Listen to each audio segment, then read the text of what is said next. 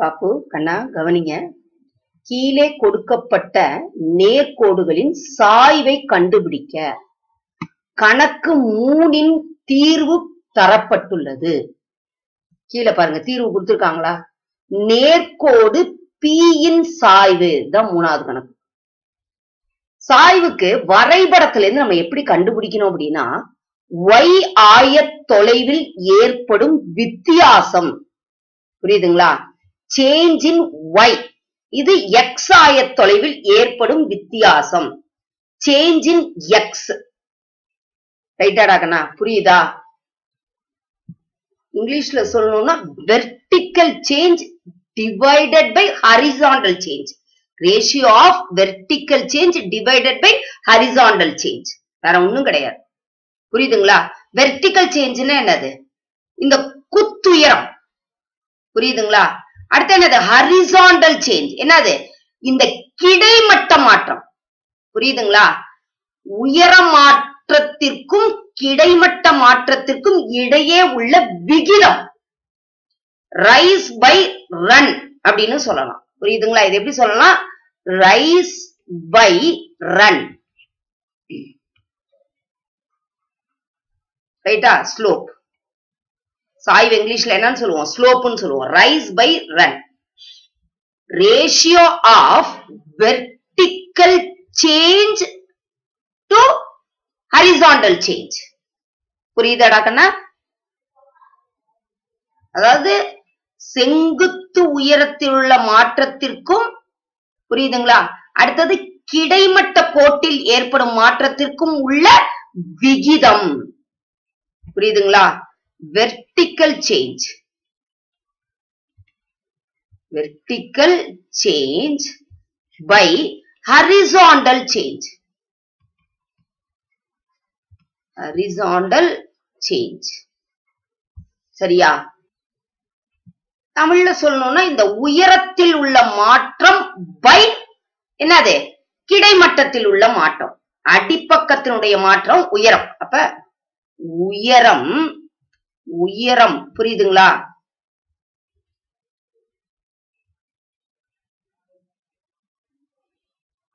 உயரத்தில் ஏற்படும் மாற்றம்.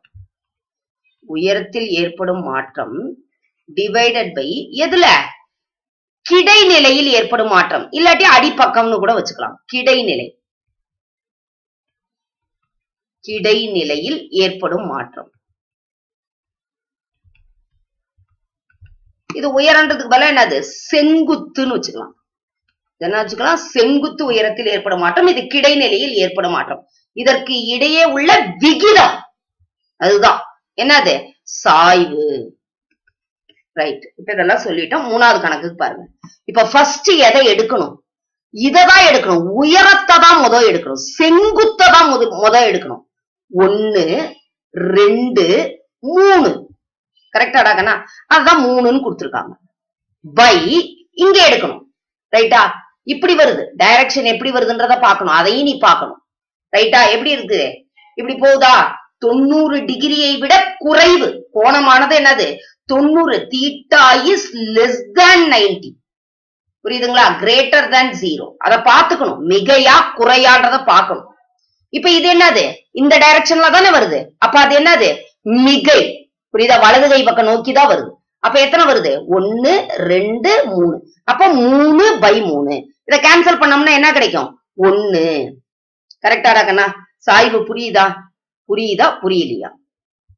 இப்ப அதே மாதிரி இதுக்கும் கண்டுபிடிக்கலாமா?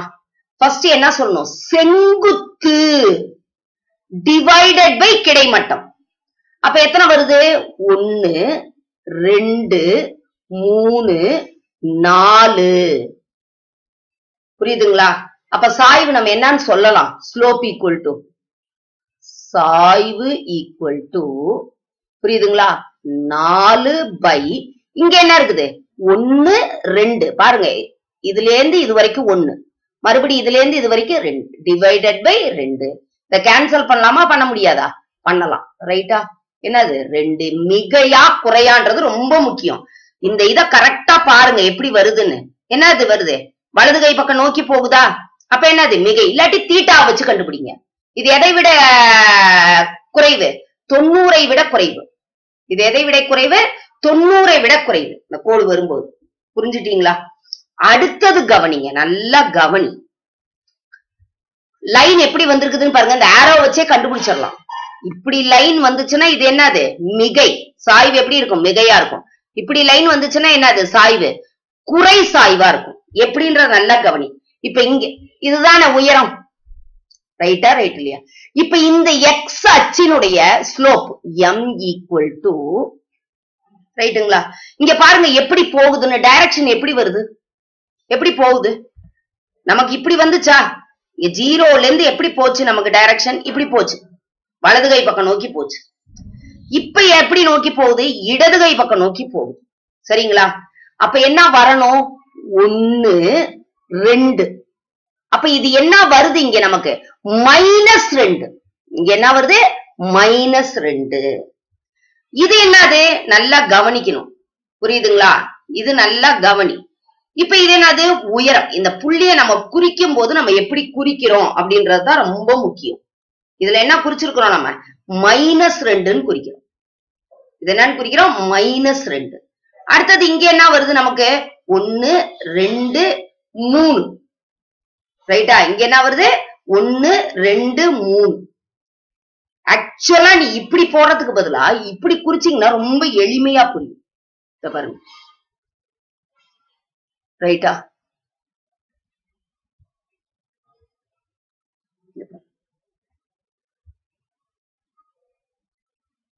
இப்படி. இப்படியும் குறிக்கலாம். இப்ப இங்க இருந்து இங்க வந்தாச்சா? மைனஸ் ரெண்டா? மறுபடியும் எங்க போகணும்? மேல போகணும். இங்கே இருந்து மைனஸ் ரெண்டு. இங்க இருந்து என்னது? ஒன்னு ரெண்டு மூணு. அப்ப இங்க என்ன வரும்? மூணு. அப்ப ஆன்சர் என்ன? மைனஸ் மூணு பை ரெண்டு. கரெக்ட்டுங்களா இப்ப இந்த பக்கம் எடுத்தோம்னா என்ன வரும்? ரெண்டு ஒன்னு ரெண்டு. ரைட்டுங்களா இப்ப இது எப்படி வரும் நமக்கு? மைனஸ் மூணு. அப்ப மைனஸ் மூணு பை ரெண்டு. சரியாடி கண்ணு? அதனால இப்படி எடுக்கிறதும் இப்படி. ரெண்டையுமே பண்ணி பார்க்கணும் நம்ம. ரெண்டையுமே இதுல பண்ணி பார்க்கணும். அப்பதான் கரெக்டா இருக்கும். புரியுதா? இது புரிஞ்சது அடிக்கணும் என்னன்னு? அடுத்தது நல்லா கவனி இதுல. நம்ம ஏற்கனவே இது பார்த்திருக்கோம். இதுலயே என்ன சொன்னா ரைஸ் பை ரன்னும் நல்லா கவனிக்கணும். ரைஸ் பை ரன் இப்ப இதுல ரைஸ் இருக்குது. புரியுதுங்களா? ஆனா ரன் இருக்குதா? செங்குத்து இருக்குது. ஆனா கிடைமட்டம் இருக்குதா? இல்ல. அப்ப செங்குத்து நம்ம எடுக்கலாம். ஆனா கிடைமட்டம் ஜீரோவா வரும். அப்ப எனி இந்த இடத்துல என்னன்னா anything divided by zero anything divided by zero ரைட்டா இப்ப இந்த புள்ளியை இங்க நம்ம எடுத்தோம் அப்படின்னா இங்க பாருங்க நம்மளால இப்படி ரெண்டையும் வரையவே முடியாது. இதுல என்ன பண்ண முடியும்? ஒன்னே ஒண்ணுதான் வரைய முடியும். இதுல என்ன பண்ண முடியும்? செங்குத்து மட்டும்தான் வரைய முடியும். அப்போ ஒன்னு பை ஜீரோனா ஏன்னா அது வரையறுக்கப்படவில்லை. இப்ப இதனுடைய சாய்வு என்ன அது வரையறுக்கப்படவில்லை. இன்னொன்னு சொல்லணும் அப்படின்னா ஒய்யச்சுக்கு இணையான நேர்கோட்டின் சமன்பாடுடைய சாய்வு என்னது வரையறுக்கப்படவில்லை. ஒய்யச்சினுடைய சாய்வு என்னது வரையறுக்கப்படவில்லை. அப்போ ஒய்யச்சுக்கு இணையான நேர்கோட்டின் சமன்பாடு என்னது வரையறுக்கப்படவில்லை தான் புரியுதுங்களா? ரைட்டா ரைட்லியா slope of a line parallel to y axis slope of a line parallel to y axis slope of y axis என்ன infinity. அப்ப slope of any line parallel to y axis என்ன infinity. Not defined. புரியுதுங்களா? அதே மாதிரிதான் இங்க. ரைட்டா என்ன இருக்கு இந்த இடத்துல? கிடைமட்டம் இருக்கு.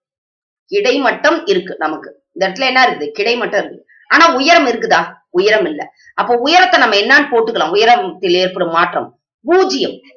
டிவைடட் பை என்னன்னு போட்டுக்கலாம். ரெண்டு. ஆக்சுவலா இது இப்படியே தேவையில்லை. இங்க என்ன இல்ல உயரம் இல்ல. அப்ப ஜீரோ பை எனிதிங் என்னது? ஜீரோ என்னுடைய சாய்வு என்னது பூஜ்ஜியம். இது ஒரு விதம். இல்ல அப்படின்னா எக்ஸ் அச்சினுடைய சாய்வு. என்னது? பூஜ்ஜியம். எக்ஸ் அச்சின் சாய்வு. ஸ்லோப் ஆஃப் எக்ஸ் ஆக்சஸ் என்ன? ஜீரோ அப்ப எக்ஸ் அச்சுக்கு இணையான நேர்கோட்டின் சாய்வு என்ன? பூஜ்ஜியம் தான். அப்படின்னு சொல்லிடலாம். எக்ஸ் அச்சுக்கு இணையான நேர்கோட்டின் சாய்வு என்னது? பூஜ்ஜியம். Slope of x axis zero slope of any line parallel to x ஆக்சிஸும் zero தான். புரிஞ்சுதுங்களாடா கண்ணா? புரியுதா? புரியலையா? நல்லா கவனி. இதுல எடுக்கும் போதே இதுல நல்லா கவனி. இப்ப இது எப்படி வருது? பாசிட்டிவா வருது. இது கீழே இறங்குதா? அப்ப இது நெகட்டிவா மாறும். இந்த இடத்துல எடுக்கும்போது இது என்ன வருது? நெகட்டிவ் ஆகுது. இப்படி போகும்போது இது என்ன வருது? பாசிட்டிவா வருது. புரிஞ்சுக்கிட்டீங்களா? புரிஞ்சுதா? புரியலையா? ரைட்டா ஆனால் நல்லா கவனிக்கணும் இதுல. ஏன் நெகட்டிவா வருது அப்படின்றத நீ நல்லா புரிஞ்சுக்கணும். சரியா? புரியுதா? அப்ப இதுல கேட்கணும். இதுல எப்படி மிஸ் அப்படின்னா இதுல பாருங்க. இப்படி வருதா? அப்ப இதுவும் என்னது? பாசிட்டிவ் தான். மிகை தான். அடுத்தது என்ன போகுது? எங்க போகுது? மேல போகுதா? அப்ப இதுவும் என்னது? மிகை தான். அடுத்த இதே மாதிரி பாருங்க. இங்கேயும் என்னது? பாசிட்டிவ் தான். மறுபடியும் எங்க போகுது? மேலதான் ரைட்டுங்களா புரிஞ்சுதா? புரியலையா? ரைட்டா இப்ப நல்லா கவனி. இப்ப இந்த பக்கம் இதுல கோடு போட்டு பார்க்கலாமா? இந்த பக்கம் போட்டு பார்க்கலாமா பாருங்க. ரைட்டா அப்ப இது என்ன வரும்? மைனஸ் என்ன வருது? மூணு. மறுபடியும் எங்க வருது? கீழே தானே வருது. அப்ப இதுவும் என்னது நமக்கு? மைனஸ் மூணு. அப்ப மைனஸ் மூணு பை மைனஸ் மூணு. அப்ப என்ன வருது? ஒன்னு அதே மாதிரி இதுக்கும் போடலாமா? போடலாமா போடக்கூடாது? இங்க பாருங்க. இங்க இருந்து வா. அப்ப இது என்னது? மைனஸ் ரெண்டு. டைரக்ஷன் மாறுது பாருங்க. இது இப்படி வருது இது இப்படி வருது. இது மேல போகும் இது எங்க வரும்? நமக்கு கீழே வரும். அப்ப இது மைனஸ் ரெண்டு இது என்னது நமக்கு? மைனஸ் நாலு. கரெக்டா அடிக்கண்ணு அப்ப இங்க என்ன வரும் நமக்கு? உயரம் தானே ஃபர்ஸ்ட் வரணும். அப்ப என்னது? மைனஸ் நாலு பை மைனஸ் ரெண்டு. ரைட்டா அப்ப என்ன வரும் சாய்வு? ரெண்டு. இதுல என்னது? மைனஸ் மூணு பை மைனஸ் மூணு. முதோ வந்து உயரம் தான் அப்புறம் தான் கிடைமட்டம். முதோ செங்குத்து அதுக்கப்புறம் தான் என்னது? கிடைமட்டம். ஆனால் ரெண்டுமே ஒரே நம்பர் வர்றதுனால இது எக்ஸ் உடைய டிஃபரன்ஸா ஒய்யோட டிஃபரன்ஸா உங்களுக்கு தெரியாம போகும். இதுல நல்லா புரியும். முத எதை எழுதணும்? இததான் எழுதணும். செங்குத்து உயரத்தில் உள்ள மாற்றம் அப்புறம் தான் கிடைநிலையில் உள்ள மாற்றம். புரிஞ்சுட்டீங்களாடா கண்ணா? புரியுதா புரியல ஆனால் ரெண்டு பக்கமுமே போடலாம். அதையும் தெரிஞ்சுக்கோங்க. சரியா தேங்க்யூ